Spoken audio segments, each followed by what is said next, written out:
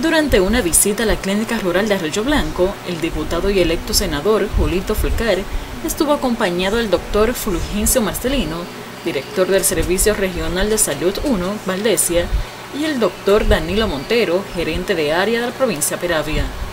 Esta visita se llevó a cabo con el propósito de realizar un levantamiento de la clínica rural de la comunidad para posteriormente ser intervenida.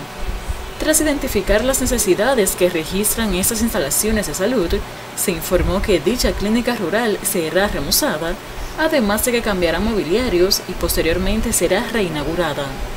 Esta visita se efectuó ante pedido de comunitarios del lugar, quienes acompañaron al electo senador y autoridades del sector salud.